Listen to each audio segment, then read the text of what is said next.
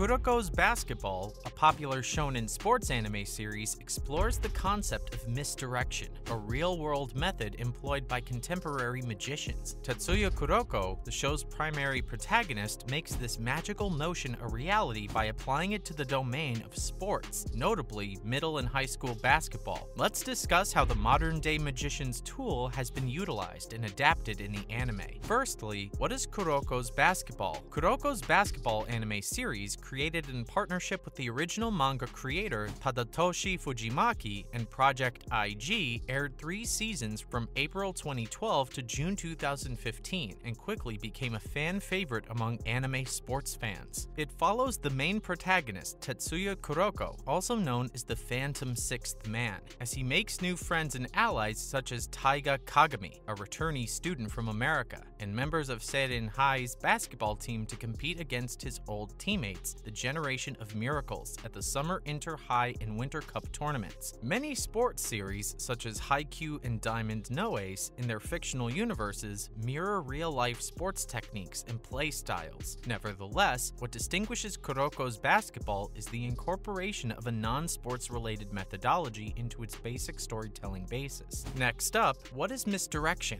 Misdirection is a method widely employed by magicians to transfer a target's interest or focus to another person or object by subtle variations in sight and gestures, as stated in Season 3, Episode 13, A Day with Blue Skies. Similarly, it has been demonstrated that this approach is further magnified by Kuroko's innate lack of presence, making it more strong and more credible in a stressful context such as matches, when it's easy to lose track of other players' positions. According to Psychology Today, this is a frequent psychological phenomenon in which the brain blurs out facts that aren't necessary for daily living, such as the position of a fire extinguisher, an additional the in a phrase, or a passerby on the way to work. Another similar study was presented in the book Misdirection Magic, Psychology, and Its Application by Gustav Kuhn, Patricia Kingori, and Cohen Peters Greetens. A set of volunteers was asked to count how many times a ball was passed throughout a basketball game in one of the studies cited in Kuhn's study. During the research, 60% of the participants failed to spot a guy dressed as a gorilla crossing the basketball court as the players were passing the ball around. The relevance of this research in terms of Kuroko's basketball is that the breadth of misdirection can be applied not just to a magician extracting a rabbit from a hat, but also to practically everything from politics to sports and espionage. Don't go anywhere. We're going to discuss how misdirection has been used in Kuroko's basketball. Moving on,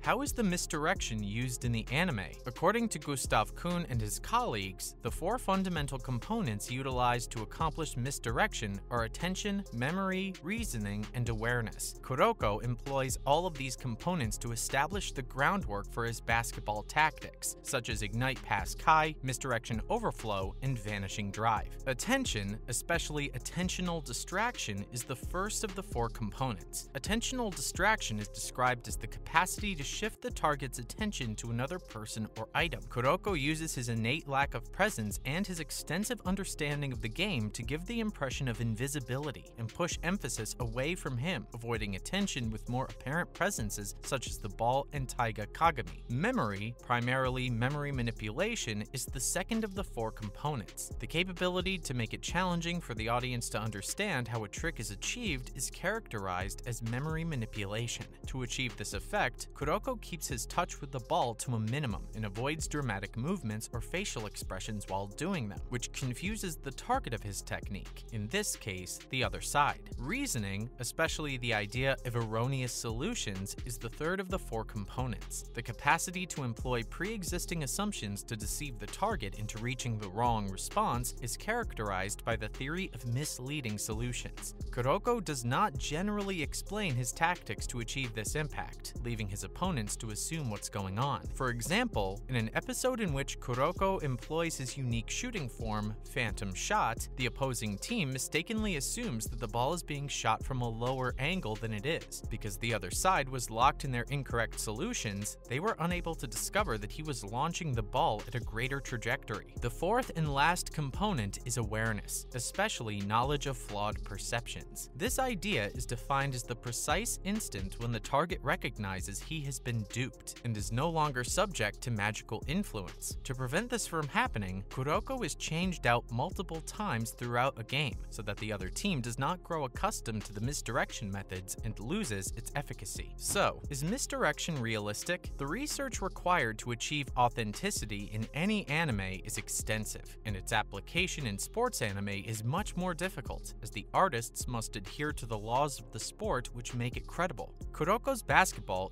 introduced a complex collection of magical and psychological theories and tactics into the field of sports anime. Overall, it implemented these deception methods very convincingly, despite the inclusion of superhuman abilities like Seijuro Akashi's Emperor Eye and Ryota Kise's perfect copy. Finally, Almost Magic, Emperor Eye, and the perfect copy. The Emperor Eye allows the user to see extraordinary detail in another person's body, such as breathing, muscle movements, or contractions, body tension, rhythm, perspiration, and so on, allowing the user to foresee future moves. It can be activated by watching individuals and their muscle motions, which is how Kuroko obtained his quasi-emperor eye. So far, the four known users have all demonstrated excellent observing abilities and court awareness. Akashi's ability to perceive other players' potentials in addition to their strengths and flaws, Kuroko's ability to detect other people's routines and patterns of behavior, and finally, Kise, who must study others to exactly replicate their motions. Even though we haven't seen much, Gold was able to determine Murasaki Murasakibara's defensive range and Akashi's Emperor Eye. The Emperor Eye is one of the most potent skills, since it can drastically affect the outcome of a match. It is also claimed that the Emperor Eye is only as powerful as its user, as Akashi is strong not because he possesses the Emperor Eye, but because he understands how to wield it. Every user has uniquely built up their Emperor Eyes. Akashi obtained his via long-term mentoring of the Teiko team as vice captain and subsequently captain. His eyelids were forced open as his second identity appeared during his one-on-one combat with Murasaki Murasakibara. Kuroko, unlike Akashi, has gained his eye ability via long-term observation at a slower speed.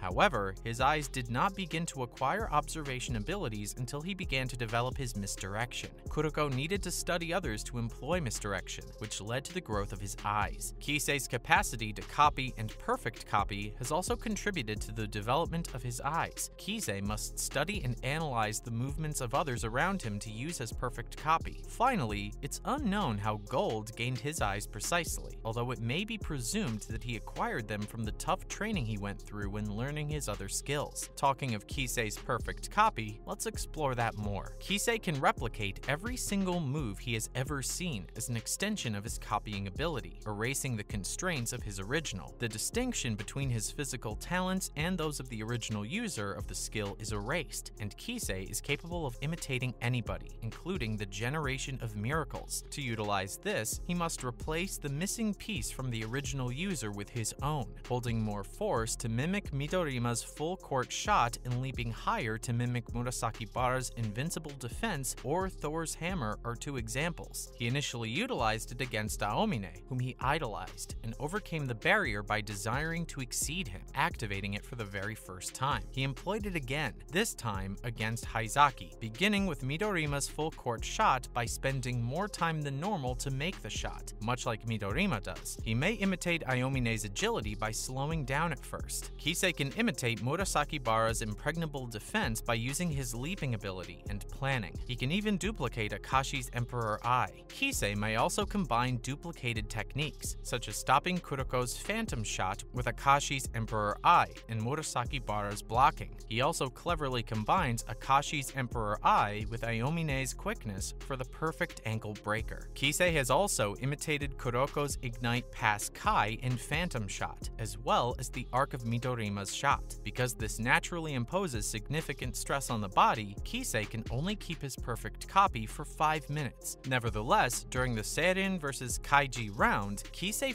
forcibly prolonged the time restriction by an extra 2 minutes, despite his damaged ankle from his previous fight with Haizaki. This is also one of the reasons he can fill all 5 roles for Team Vorpal Swords. In the duel against the Jabberwock, Kise is also able to perfectly mimic Aomine's level of play while in the zone. That's a wrap for this video. Do let us know if you think Kuroko no Basket incorporates misdirection convincingly. Don't forget to hit a thumbs up and subscribe to our channel. Bye!